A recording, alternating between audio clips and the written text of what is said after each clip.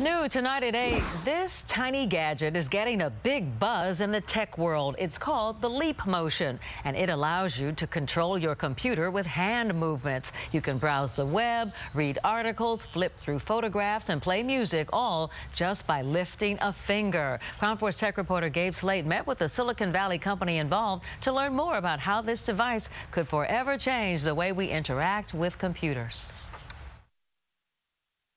Leap Motion is a tiny device that uh, sits on your desk and turns the area around your computer into a 3D interaction space uh, where you can reach out in front of you with your hands and do all the things that before weren't possible with computers. The Leap Motion controller senses how you naturally move your hands and lets you interact with and control your computer in a whole new way. Point, wave, reach, grab, Pick something up and move it. Do things you never dreamed possible. It's not trying to replace the mouse and keyboard, but make use of the empty space between you and your computer screen. It turns that empty air into an invisible motion sensing space. This opens up new, fun, creative, and challenging ways to play games on your computer. But it's not just games, there's so much more. There's an app store for the Leap Motion with tons of different applications. Art and education and learning and creation. So things for content creation. We have uh, tools from Corel, plugins for Photoshop, ways for people to draw and paint, and uh,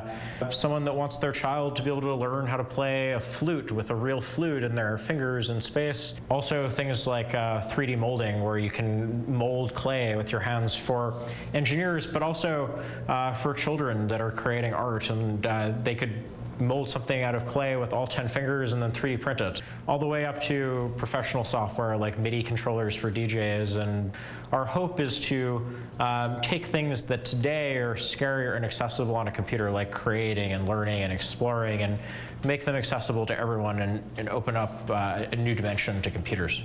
You can pick up the Leap Motion device and the software that it runs with for $80. Gabe Slate, KRON 4 News.